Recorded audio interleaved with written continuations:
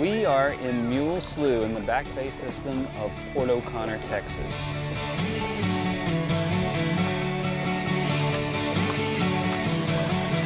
This is an isolated flat and it is surrounded by black mangrove and cord grass.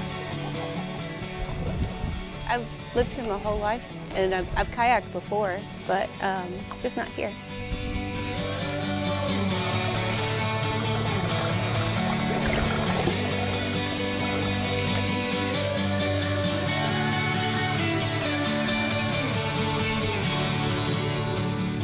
This is my backyard. My backyard's always been outdoors for everything.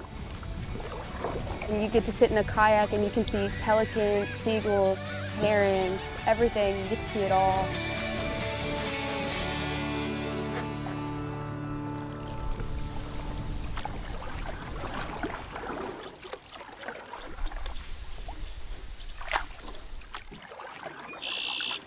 Being out here in the water definitely calms me down. It's um, it's just relaxing.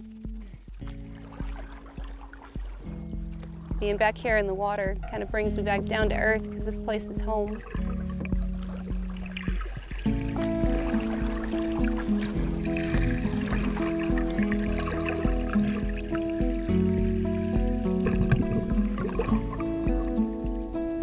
I like how you can get into the, the smaller spots without making a whole lot of noise. Where there's nobody is pretty awesome. Look for redfish. So the Port O'Connor Paddling Trail is unique in the way that it's probably the most vast one on the Texas coast that's easily accessible. There's over 40 miles total of paddle trail. Hey Jade, look at that loon.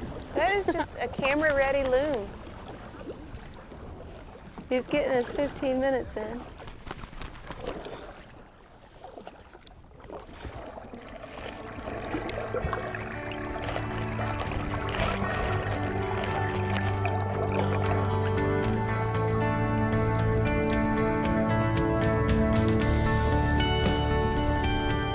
It is an adventure almost every time you come because you can get lost and that's okay.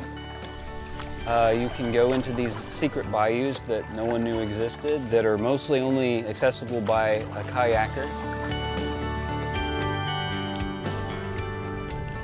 This kayaking is a whole other experience and it's you and the water and nothing else. I mean, the saying goes, once you visit here once, you'll always come back a second time.